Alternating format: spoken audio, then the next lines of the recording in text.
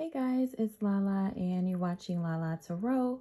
Today I'm coming on to um, show you guys a deck that recently entered my collection and I'm really excited about it. Um, I've been enjoying it and I, I spent a couple of weeks working with it to just kind of see where it fits in, how I feel about it, and things like that. So I don't always come on and unbox things immediately. Sometimes I want to spend a little bit of time with it. And then if I feel like it's like video worthy and I really want to share it with you guys, then sometimes I'll jump back on and make a video. So this is one of those decks that, um, that I felt like was video worthy and I hope people enjoy it just as much as I have.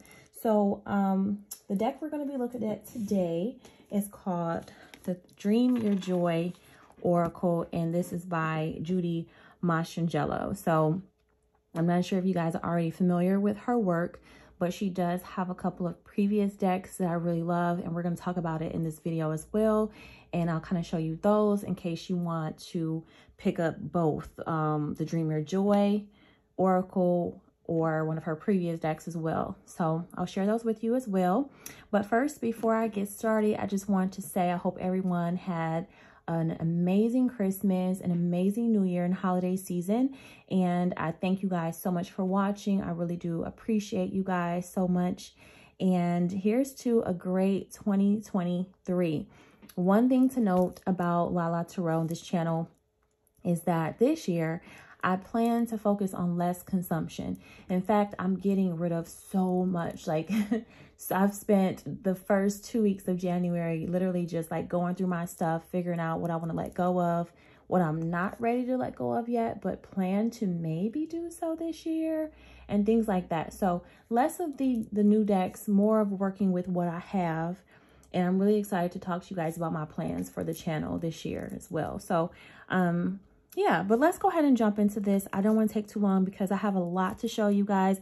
And I also would love to kind of pull a few cards to show you how I work with these together at the end of this video. So if you're interested in that, um, stay tuned, stick around. It's going to be a great video. Get you a glass of lemonade or uh, coffee or whatever suits your fancy because we're going to jump in, all right? So the Dream Your Joy Oracle cards, Judy Mastrangelo, is really like a fairy tale deck it's 59 cards. Um, it goes for $29.99 in the U.S. And you can get it a little bit cheaper. I think if you, let's say, buy it from Barnes & Noble and you get like a 10% off discount or something like that. Or if you have any sort of um, gift cards or anything for Amazon, maybe you can take a little bit off as well. But $29.99 plus tax, okay? Now, this is going to be an honest review. Honest, honest, honest review. Um, this deck comes in this beautiful box that kind of looks like like a book. Like if you were to put this on your bookshelf that would be so beautiful. But mine had a little bit of um issues where it was starting to like rip and tear. So i actually put a little piece of tape on each side just to prevent it from further um, tearing over time. And then i've been keeping my cards in this organza bag just to again prevent me from damaging the box, you know, eating further. So it does come with that box. It does also come with this guidebook, which is very, very beautiful. You get a picture of the card. You get the name of the card.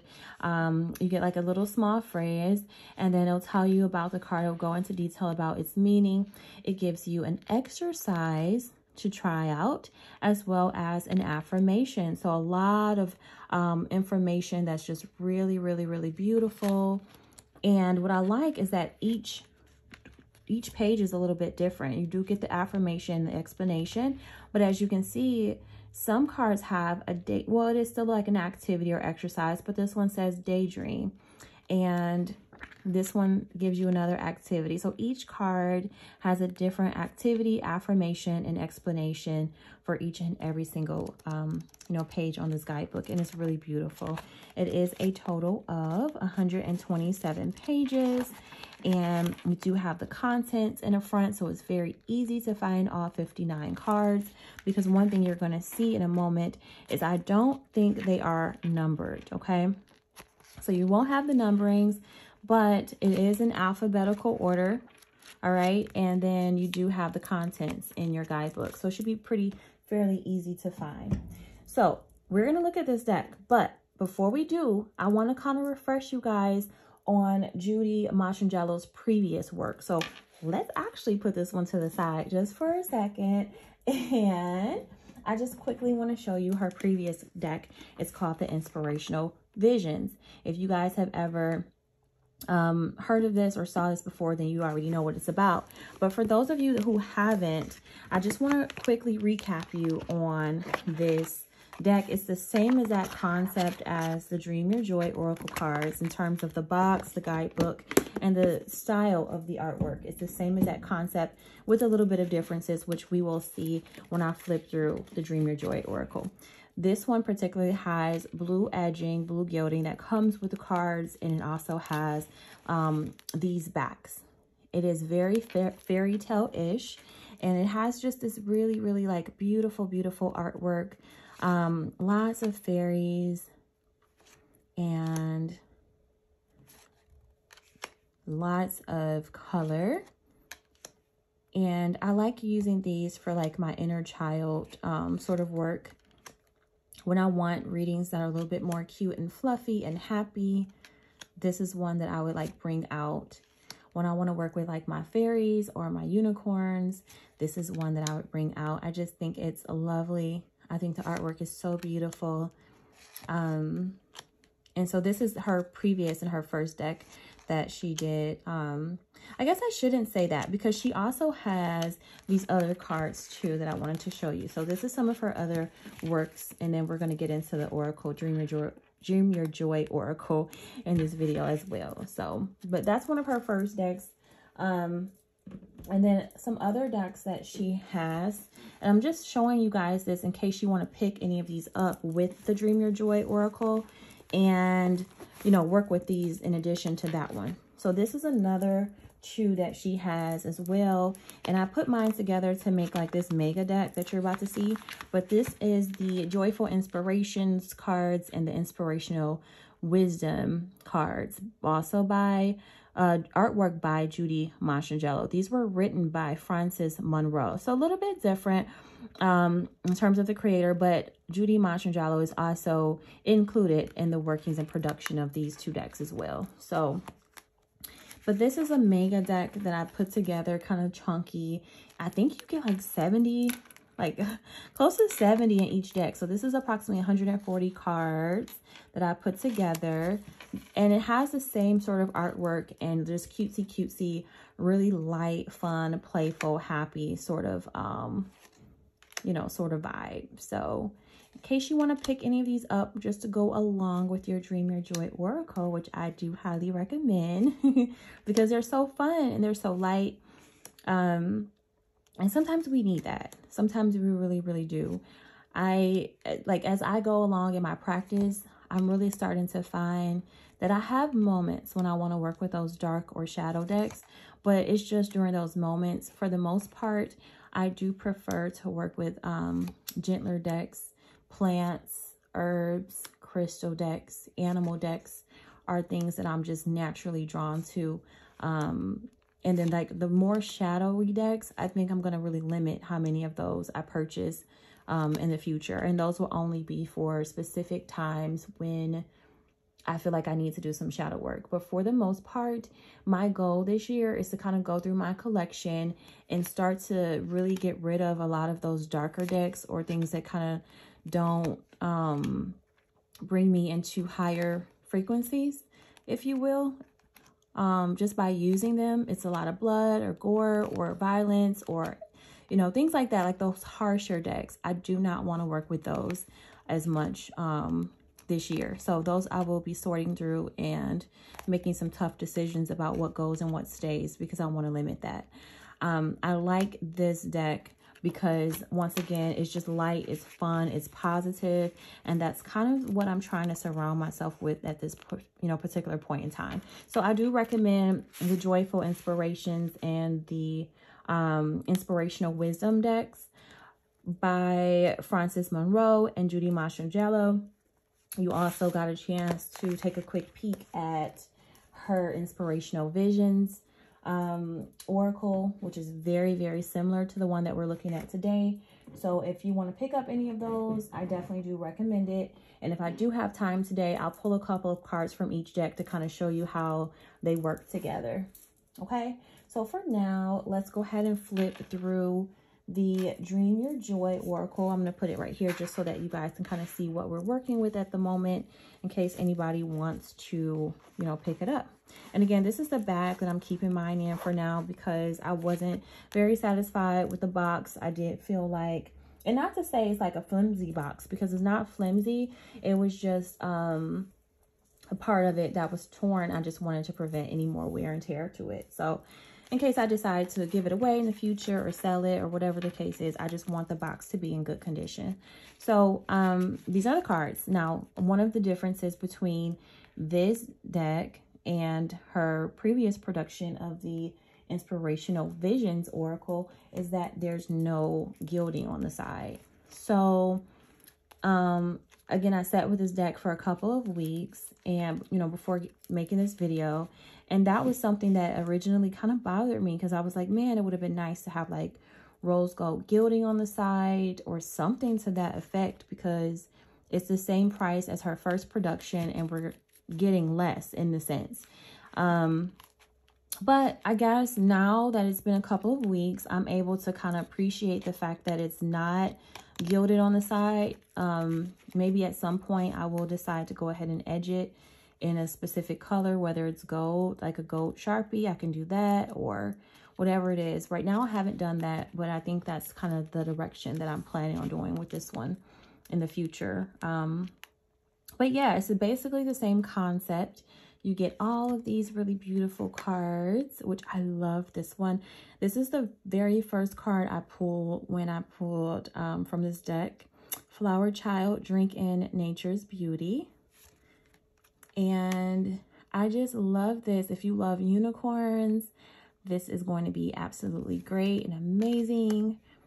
If you love fairies, this is going to be absolutely great and amazing. Also, if you like just like, you know, fairy tale stories, this one is really, really fun. I love that. And I think my plan is to use both of her decks together and then use the smaller ones that I showed you guys kind of like to recap the readings. I think that's how I'm going to do it. I love this. All of the little ice cream and cakes and oh my God, how cute. So you have Breath of Love, Fairy of the Azaleas, if am I saying that correctly? It says being little can be a big thing. And as I showed you guys, you know, in the guidebook, it goes into greater detail about each card. So you're going to get a lot more information than this. So if you get a little bit confused about what is the meaning, if you get butterflies, winged spirits of transformation, and you're like, hmm, what does that mean? And how does it apply to all of the other cards that I just pulled? The guidebook is an, is an excellent resource to you know, go more in depth on the meaning and definition of the card. So not to say that you have to heavily rely on the guidebook either, because I don't feel like you do. Um, I didn't. And sometimes what you'll find is that your definition of the card based on the other cards that you pull, it might be very different than what the guidebook says. So feel free to use your intuition. Feel free to apply whatever messages that you want to, you know, apply to it and just kind of go from there. But this is one that I felt is really, really, really pretty. I'm enjoying it so very much. This is one of my favorite, favorite, favorite cards. And I'm just going to flip through so that you guys can see. And then if this is something that you want to pick up, then you certainly can.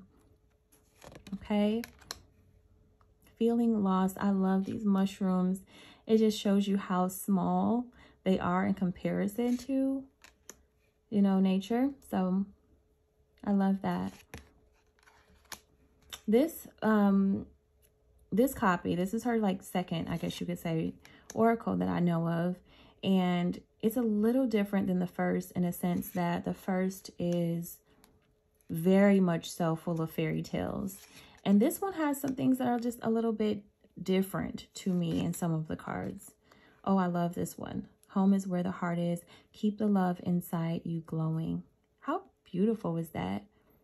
And that's what I mean. Like, I will take this sort of picture any day over blood and gore and like all of those other decks that are so harsh, you know. And I guess there's like a time and place for that as well, which is fine. But I think on a regular basis, I just want something a little bit more softer. This is so beautiful. And this is what I mean. This is one of those cards that, is, that are really different from her first deck. This is not, you know, all fairy tales and unicorns. This is something very different. And I, I love that too. I think it's beautiful. You know, this is gorgeous. So I just wanted to share this with you guys. I hope you guys are enjoying this as much as I have. Um, I think my relationship with this one has kind of grown over the last two weeks from when I first got it. Um, and actually, I will say that I've noticed that recently with my decks. Um, I started spreading out how often I, I purchase them, I get them. A lot of decks I get are already on pre-order though. Um, so I can't help it if it ends up coming out together. But I'm trying to spread out how often I get new decks. And what I'm noticing is that when I do get a new deck, it takes me a minute sometimes to really connect with it. Like I'll look through the cards the first day and then sometimes I'm like, mm, I don't know how I vibe with that. Mm, I don't know like how often I see myself using that. And then I'll keep on working with it. I'll keep on working with it. And I'll like my relationship grows with it over time. And I think that's that's what's going on with a lot of my decks I'm getting nowadays. It's not an immediate connection per se, per se. It's more so like, um, I don't know, I guess the relationship just grows. So, cloud babies, children and ideas waiting to be born. So like this would be an example of a card that you don't necessarily need to use the guidebook for it. Like that's very easy to interpret, right? And to apply to your readings. So I think this is just beautiful. Light a candle, let truth shine through the darkness. And then our last card here is Eternal Youth. Imagination and love keep you young in mind and body. And that's gorgeous. So we're going to pull a couple cards. I'm going to show you guys what how I would be like working with these together. Um, and then some of the other decks that I would use with this, right? So if I bought this deck, I would need a tarot, right? For me. And so my tarot would be, I chose the Crystal Unicorn Tarot. And obviously you can choose whatever tarot you feel would be best. But I would like pair this deck to these. So this would be like my tarot. And let's just put this to the side for a second. And this pull like a couple of these cards. And then we'll pull a couple of like oracles. And then go from there. And I'll show you how they look all together. So let's pull a couple tarot for this purposes of like entertainment. And then we will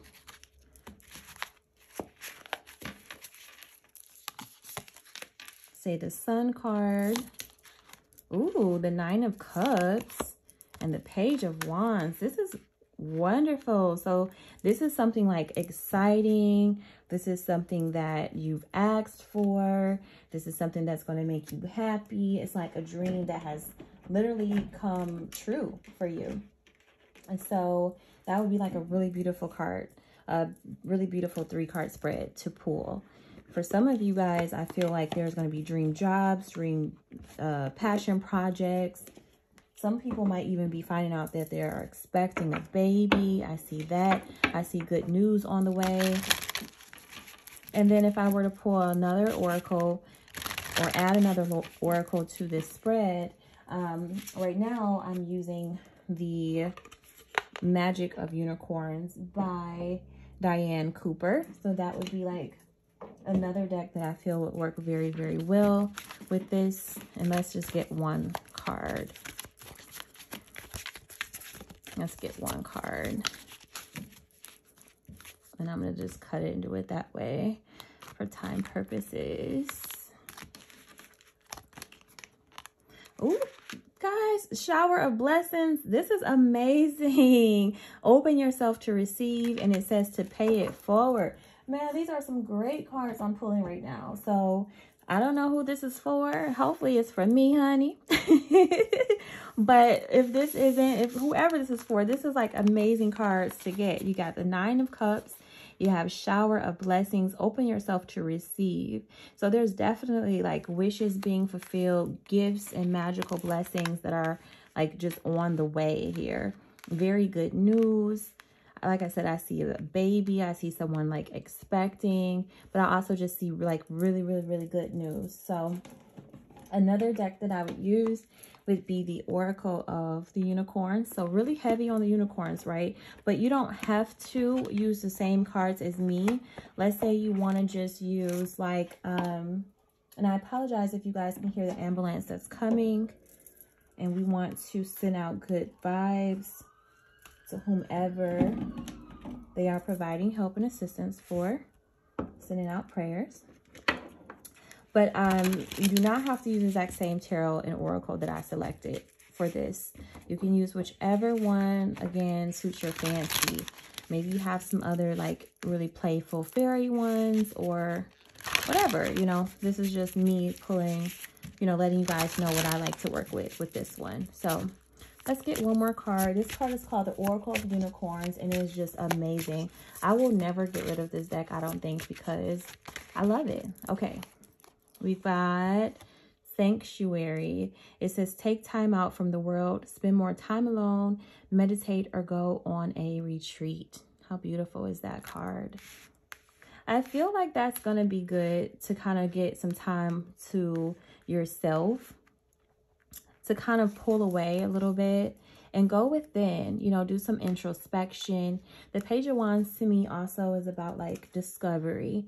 So discovering what makes you happy, right? Discovering what your dreams are, discovering what your wishes are, what's going to be fulfilling to you. So this card for me would talk about it's necessary for me to take some time out from the world, spend some time by myself, um, just so that I can discover what it is that makes me happy, what makes me glow, and what truly fulfills me. All right. And then, of course, we'll go ahead and jump into our Judy Mastrangelo decks that we talked about in this video, the Dream Your Joy and the Inspirational Visions. And I'll let you guys see how those kind of pair with it. So I'm starting off here with the Inspirational Visions and just want to kind of pull me a card to kind of see what is, um, you know, a message. And it doesn't really matter, you know, like I said, any of these are just good, uplifting, positive cards to get. So we have where candy trees grow. It says lands of childhood live within us always throughout life.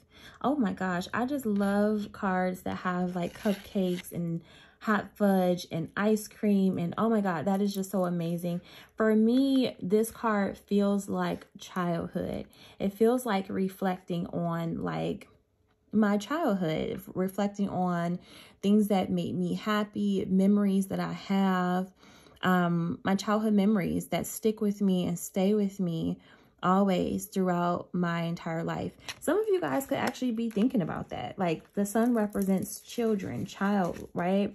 Things that make you happy. Some of you guys are looking at old pictures. I see that with the page of wands. Some of you guys might be looking at old pictures and kind of thinking back to happier times in your childhood and things that really made you happy, things within your family or with your siblings. I see that as well. Where candy trees grow. That's amazing. That's beautiful. Let's go ahead and pull us a Dream Your Joy card. And again, this is just how I would use this deck. You are free to use it however you wish. I just want to share this with you in case you wanted to pick up like any sort of, um, any of these decks that I'm using today.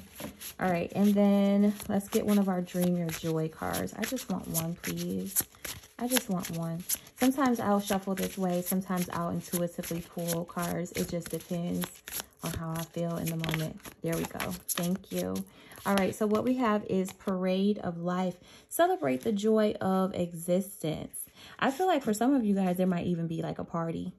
Also, I'm getting birthday energy. Um, I know my birthday is this month in January. I am Aquarius. Shout out to all Aquariuses and happy birthday to you guys, as well as my Capricorns. I cannot forget the copies because you guys' birthday is in January as well. So happy birthday to you guys.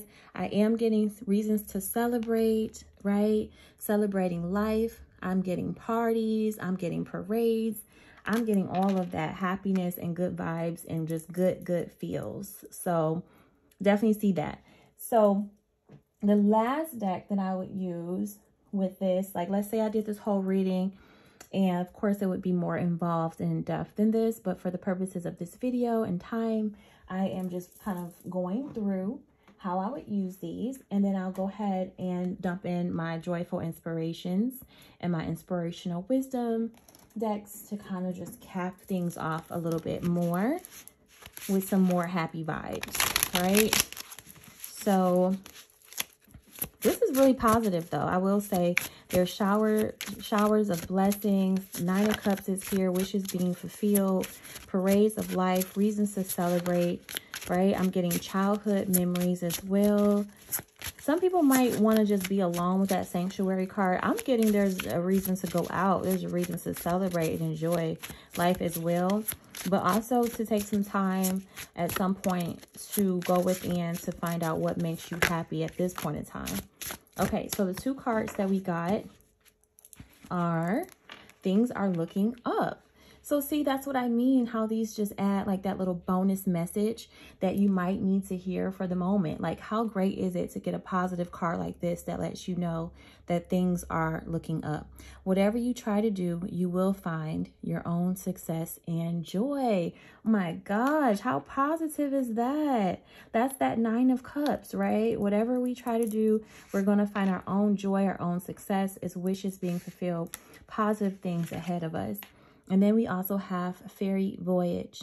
As a child of power, you can bring joy and purpose to the world. So just an additional bonus little message just to let you know how much you matter, how much power you have, and how much purpose that you have. And I think that's what some people who are watching this video might be doing, taking a moment to themselves with that sanctuary to kind of go within, um, and discover what it is that makes them happy. What is your life purpose? What fulfills you? And how can you be of purpose to the world? How can you bring and put back more joy into the world, right?